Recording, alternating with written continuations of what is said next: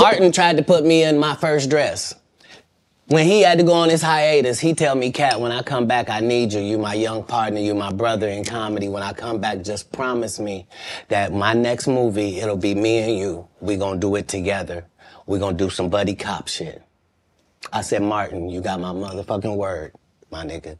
Go do what you gotta do. When you come back, I'm in your movie. Don't trip. I don't need to see the script or nothing. You know, we get in that office and this fool pull out Big Momma's house too. I almost died. And I gotta read this script from all these good white people. Where this nigga want me to get in a dress with him. And I'm literally saying to everybody, why is he in a dress again? You already played the old lady as an FBI agent. We can play anything now. We can be playing a dog catcher this time. Why do we need to be in a dress? Today we're going to talk about black men in dresses, comedian in, in dresses, this whole conspiracy of black men in entertainment wearing dresses to be successful because the I guess the white supremacist structure wants to emasculate them. Yes, let's talk about that.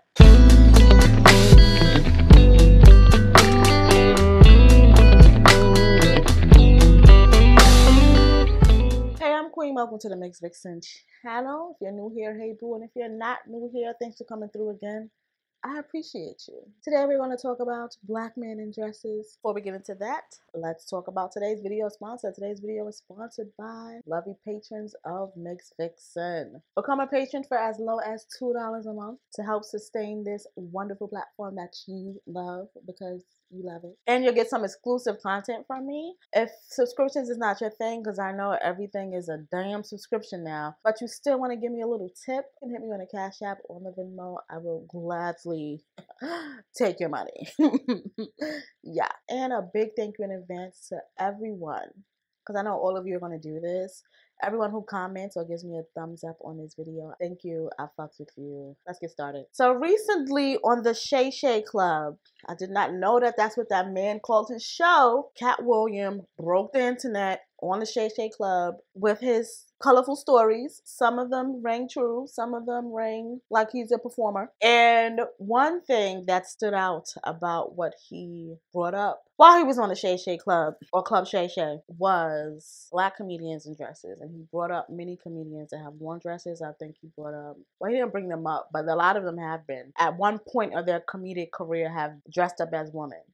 So we have Martin Lawrence, Eddie Murphy, Jamie Foxx. What's the guy that I don't really care for? Rickey Smiley. I don't think he's funny. I don't know his name, but the guy who played Geronimo Man, Tyler Perry, he's not a comedian, but definitely a man who a dress. The list goes on. And there's this ongoing conversation amongst black people about but black men wearing dresses as like some kind of I wouldn't say Illuminati, but like some kind of malicious rite of passage that the powers that be make them do in order for them to be successful. And the reason that they do this is because we want to emasculate the black man. And because the black man is such a threat that we have to put him in a dress to remind him who, who runs this shit. And that's all bullshit. I really think it's funny that people like believe that because it's like it's so ridiculous. And the reason why it's ridiculous is one, when it comes to comedy as a whole of many races, not just not just us, but of many races. In comedy, the mocking of women is a common practice. Now, is it a good practice? I don't think so. But it's a common patriarchal norm within comedy. Okay, we have Mrs. Doubtfire and probably other people that I can't think of, and maybe they're showing up on the screen right now because right now their names escape me because you know I have a hard time remembering white people's names. But this is a common patriarchal norm in comedy. Now we can critique this patriarchal norm and why men feel that it is comedic to pretend to be a woman. I think there's a better, healthy conversation there. We can talk about that, but y'all won't talk about that.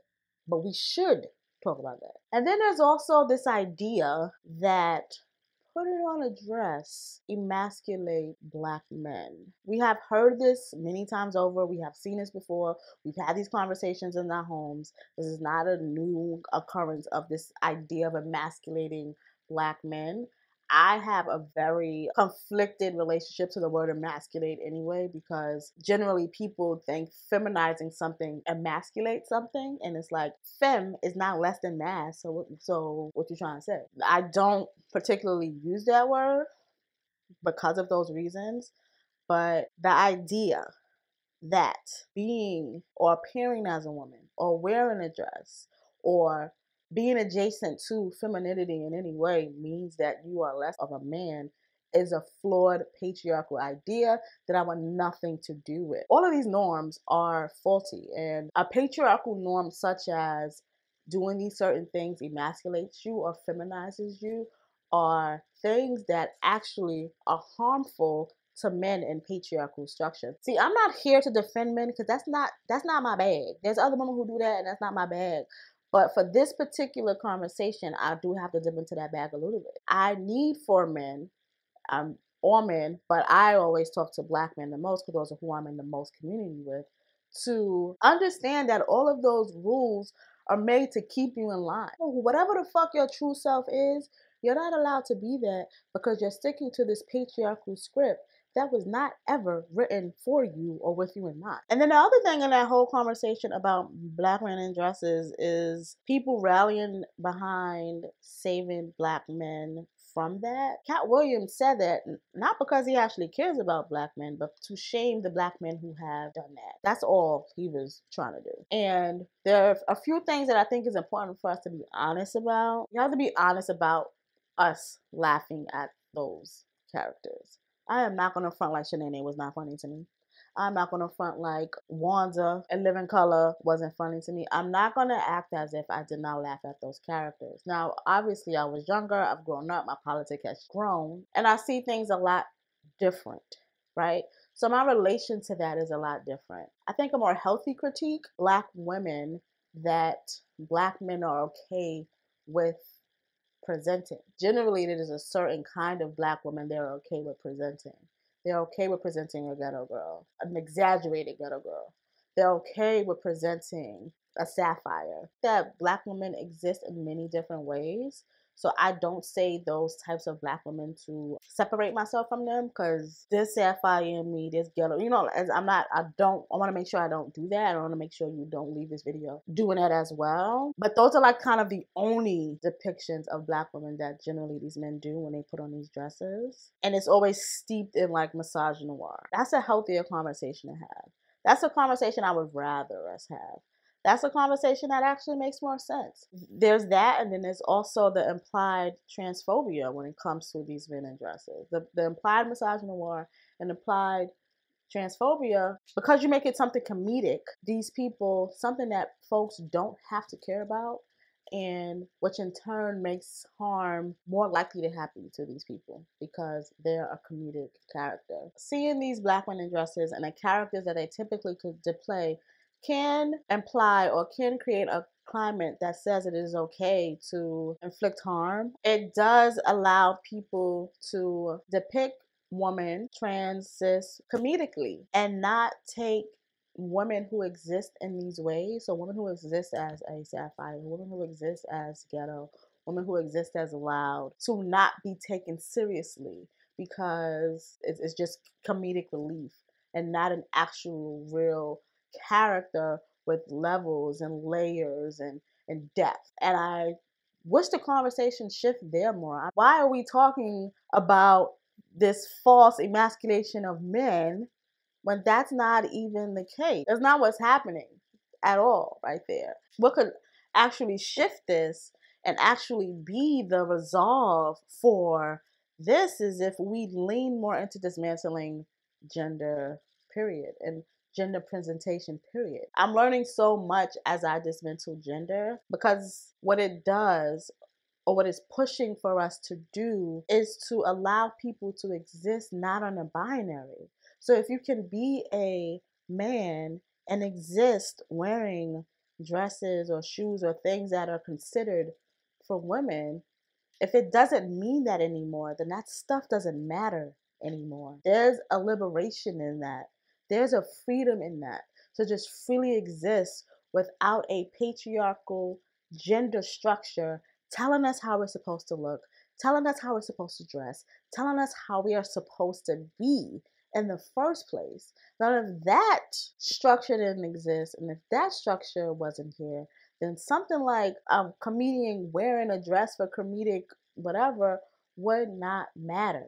And it also would dismantle the misogyny and the transphobia that are implied when those characters exist. Just want to challenge us a little more to expand that conversation. This is a conversation that I really don't think men should be centered in. If anything, they're the ones that are contributing to the harm because they're contributing to this culture of not taking these particular kind of black women seriously. Also, it's contributing to misogynoir and transphobia not being taken seriously. Then it further contributes to these ridiculous patriarchal standards of gender that we have to follow. And if we do not follow them, that means we are inherently defective. That is the problem. So I just want us to push and decenter the black men out of this comedic dress conversation when there's other ways that we can look at it. We can look at how gender presentation is a prison for many people and we, we gotta break free of it. So I'm hoping that I said something coherent here. Happy New Year. I didn't say that. I know that was kind of rude of me. I haven't seen y'all since December on the YouTubes. So happy New Year. I hope you had a new year. I hope you're doing all of the things that make you feel good in the new year. I have a lot planned for the year. Patrons know what's going on with all of that. And yeah, so I'm gonna end this video. You are a bad bitch. You are enough. Stay fly, and I will see you in the next video. And wear a dress if you want to.